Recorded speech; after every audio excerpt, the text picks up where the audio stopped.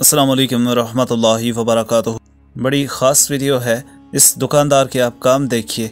ये चिकन वगैरह कुछ फ़रोहत कर रहा है, कारोबार कर रहा है, लेकिन ऐसा काम करते कैमरा में रिकॉर्ड हुआ, जिसे देखकर हमें भी यकीन नहीं आया।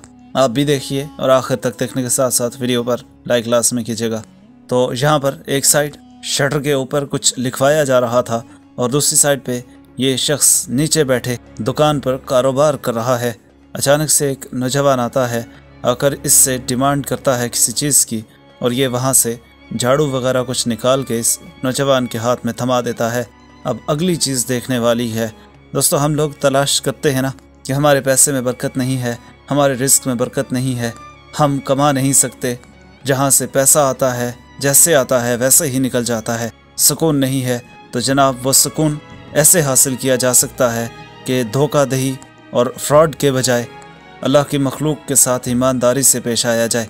अब इसने छोटा सा अमल किया है। जो ही इसने झाड़ू दिया, ज़ाहिर सी बात है, इसके ख्याल से ये झाड़ू ख़राब हुआ होगा। इसने फ़ौरन से हाथ धोए कि किसी भी शख्स का कोई नुकसान ना हो जाए। लिहाजा इसने हाथ धोए, फिर अपने कारोबार पे बैठा, ताकि जो भी चीज़ तोल कर दे, वो गंदे हाथों से ना हो, बल्कि साफ़ हाथों से हो। अब यह अल्लाह का और इस बंदे का मामला है। इसी वजह से ऐसे लोगों के रिस्क में बेपनाह बरकत होती है। आज की वीडियो शेयर कीजिएगा। उम्मीद है आपको बहुत कुछ सीखने को मिला होगा। सब्सक्राइब भी कर लीजिए। साथ में बेल आइकन भी प्रेस कर दीजिएगा।